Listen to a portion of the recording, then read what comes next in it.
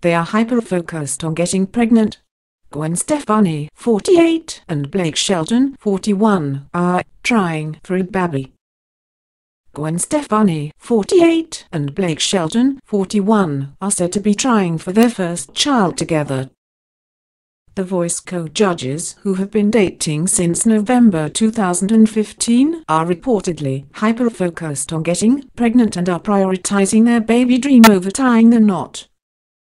A source told Us Weekly magazine, they will get married one day, but right now they are hyper-focused on getting pregnant.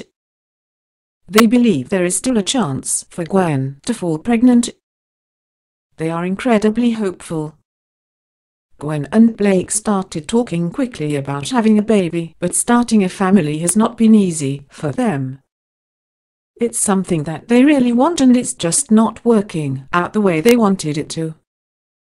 The Hollaback Girl Heatmaker already has sons Kingston, 11, Zuma, 9, and Apollo, 3, with her ex-husband Gavin Rossdale, 51. But the singer is keen to have another child because she knows how much Blake wanted a family with his ex-wife Miranda Lambert, 33. The insider explained Blake told Gwen he does want kids of his own and Gwen was willing to try. With her, Blake has the exact relationship and family life he'd hoped to have with Miranda. Gwen's everything he wants. They are so committed to one another. Daily Mail Com has approached representatives for both Gwen and Blake for a comment. The musician is said to be keen to prove how serious he is about the blonde beauty by converting one of his old inkings into a tribute to her. A source told Hollywood O Life. Com recently, Blake's never liked the tattoo he has on his forearm, he always says it's ugly. He's talked about covering it up for a while and the only reason he hasn't is he can never decided on a design. But he's working on it. Sketching ideas has turned into a little hobby for him. Now he's trying to figure out a way to work a tribute to Gwen into the new design.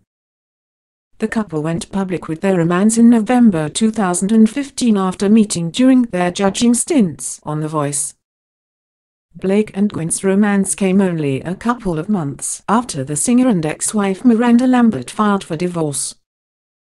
Gwen and ex-Gavin called time on their 13-year marriage in August 2015 before finalizing their divorce citing irreconcilable differences in April 2016.